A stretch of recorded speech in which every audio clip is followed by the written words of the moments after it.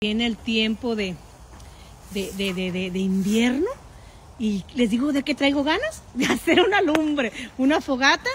Marcos está cocinando acá afuera y yo ando con todas las ganas de prender una alumbrada acá como para recordar viejos tiempos cuando vivíamos en México, que uno sea su fogata, su lumbre, ¿cuál fogata? Su lumbre y que uno se le pasaba tan a gusto echando chisme.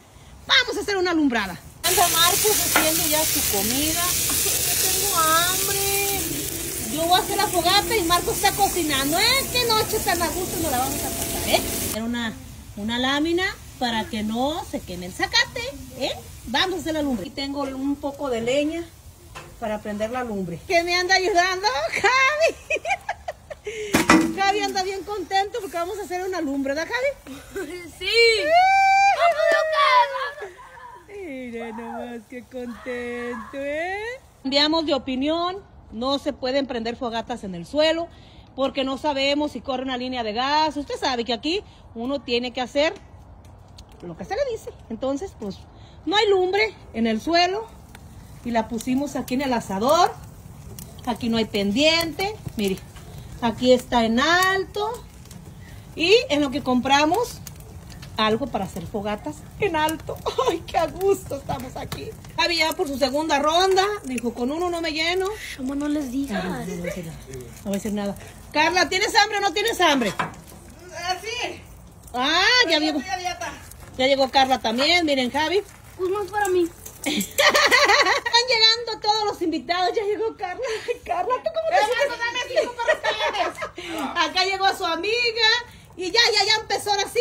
La fogata. Carla, arrímate aquí. Que dicen que cuando uno está junto a una fogata tienes que ponerte así como viendo. Como, como bien relajada, viendo la fogata. Vamos, Me voy a quemar las pestañas. ¿Cómo quieren que me relaje?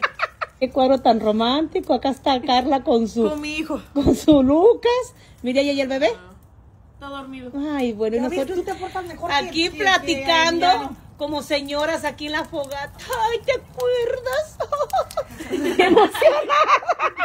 Eran los bombones y Alejandra trajo unos, unos palos, mira nomás, grandísimos. Para ponernos a hacer, a, a- a hacer bombones. Ay, qué emocionada estoy. Miren, pues ya trajimos bombones. Mí. Se te quemó, se te quemó. Bueno, ¿Eh? Miren, ¿eh? Aquí las chicas todas con su, con Bombón. su bombón, hasta ¿eh? que agarramos algo. Ay, hasta que agarraron algo, ¿eh?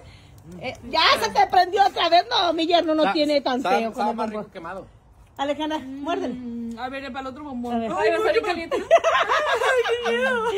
Bueno, y sigue, y la noche continúa. Aquí vamos hasta que amanezca.